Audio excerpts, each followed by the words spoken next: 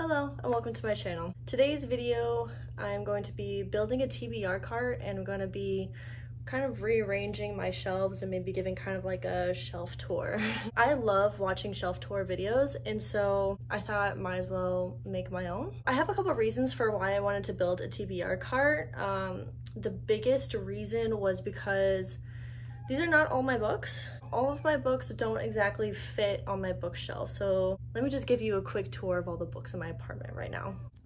So I have books here by my bed, here on my dresser, here in this bag, and there in that box. So yeah, that's a lot of books and I need somewhere to put them. I don't want to build a second bookshelf because I'm planning on moving here next year and I don't want to build more furniture just to have more furniture to move in a year. You know what I mean? Like I know a year is a long time from now, but like furniture adds up. Trust me. so I'm just going to put together the TBR cart and then I'm gonna start rearranging my shelves and I'll kind of like explain to you what I'm doing and why as I'm doing it. But first, let me build my shelves.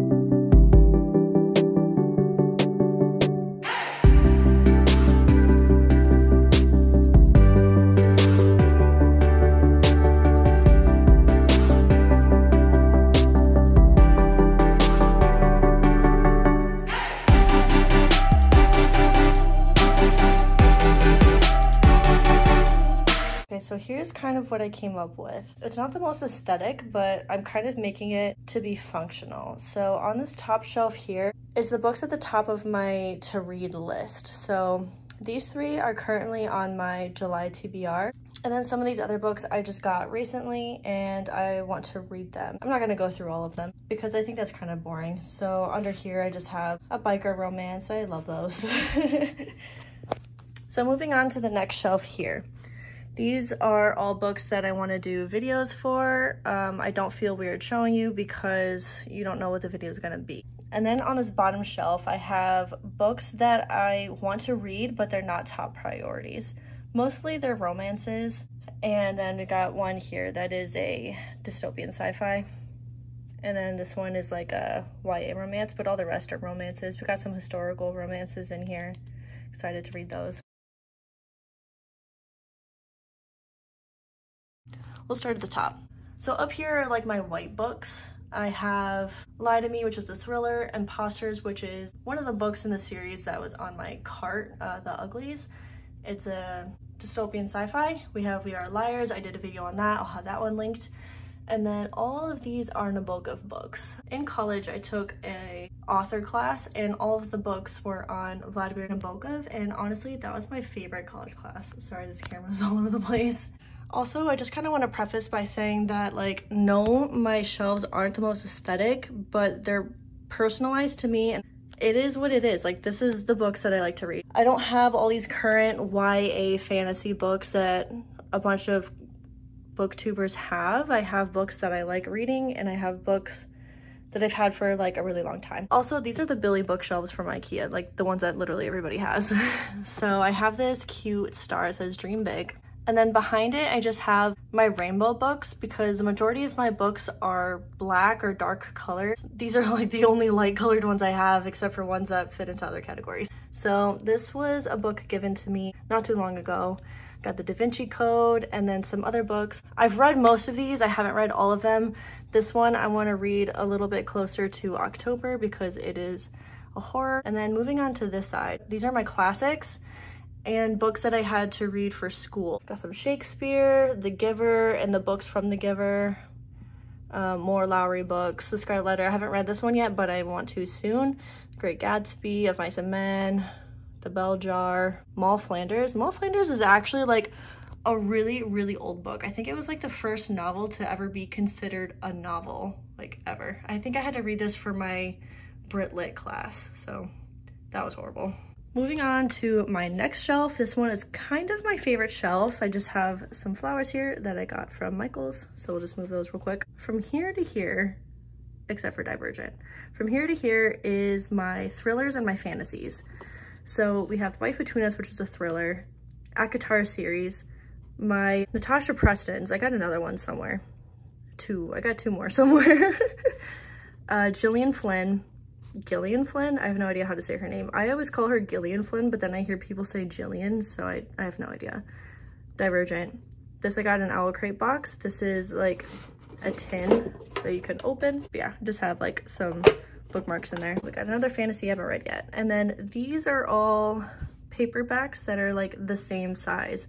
As you can see, a lot of my books are well loved. a lot of these books are hand-me-downs or they are thrifted some kind of secondhand. These aren't really in any kind of order except that I have like the dark colors on the bottom and then the dark on top and they kind of just fade into lighter colors. I don't know, I, I like how it looks. But also here we got a wide, wide range of genres. So we got horror, we got thriller, YA thriller, children's book, Gone with the Wind, psychological uh, fiction, vampire book, Go Ask Alice, fantasy. So they're really just kind of all over the place. So moving on to the next shelf is this shelf. I have these decorations with this really cute horse and some more flowers and we'll just move those for now. So this shelf doesn't really have any rhyme or reason either.